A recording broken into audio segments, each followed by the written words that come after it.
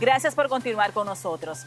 Más de un centenar de cerdos han fallecido en la comunidad Gozuela de la provincia Montecristi a causa de neumonía que hasta el momento no ha respondido a los tratamientos tradicionales. La situación en Gozuela se dispersó también a zonas como el Distrito Municipal Santa María y La Pinta, además de Sabana Larga y Cañongo en la provincia de Dajabón. Nelson Aquino, criador porcino, manifestó que la situación es catastrófica, ya que todos sus ejemplares, que eran más de 100, solo les quedaban dos vivos y que están enfermos. Y lo que se determinó en el laboratorio que se trataba de una neumonía. Ahora tomamos muestras de aproximadamente 20 cerdos. Los órganos aparentemente estaban normales, pero cuando fuimos a los pulmones encontramos mucho en los conductos, mucho pus. O sea que se trata de, una neumonía. Tenía como cinco puercas paridoras, se murieron todas. Uno pobre sin nada, uno siempre quiere un puerco, cualquier problemita que uno tenga. Eso de ahí. Vamos a pedir mucho dinero.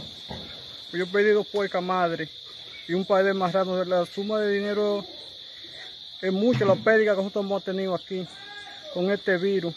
La enfermedad ataca al animal y no lo deja vivo, indicó Aquino, quien detalló además que los síntomas padecidos por los cerdos son los mismos, decaimiento, falta de apetito y fiebre.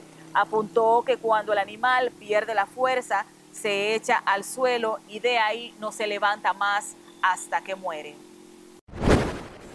Fue entregado ante las autoridades policiales un hombre acusado de matar a su vecino y luego quemarlo en el interior de su vivienda del Distrito Municipal Aguayo de la provincia Duarte. Se trata del nombrado Henry Difo Beato, acusado de matar a Octavio Ventura Rodríguez, de 80 años, un no vidente que según sus familiares se dedicaba a pedir en las calles de esta localidad. Los parientes del fallecido explican que el malhechor tiene problemas de adicción a las drogas, en tanto este negó ser responsable del hecho. Como yo tuve problemas con él, ellos dicen que fui yo, porque ellos me quieren hacer pasar por loco a mí. Lo toca él como a las 12 de la noche, las 12 y media de la noche. Él le abrió la puerta porque era alguien de confianza en la casa. Agarró, la amordazó, le amarró la mano, los pies, le puso un trapo en la boca para quitarle unos 1.200 pesos que le manda la hija todos los meses a la casa. Eh, quedó carbonizado, las imágenes son muy fuertes. El esposo de mi hermana y me dio gañé que lo habían prendido en candela. Entonces cuando vinimos ciertamente ya no había nada que hacer. Eso fue vecino de ahí. Por quitarle los chelitos, pues ya él lo tenía, lo había amarrado la boca y los pies y todo para que no se moviera. Entonces el tío mío es un ciego, un hombre no vidente que no veía. Parece que él lo llamó, como él mismo lo llevaba a la parada, que ahí salía ya a Macorís. Ahí pues venía a pedir ahí cerca de Popular, también él sentaba ahí.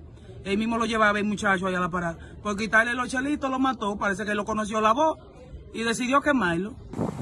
Difo Beato fue atrapado por personas del Distrito Municipal El Aguayo, donde se registró el hecho y previo a entregarlo, las autoridades policiales trascendió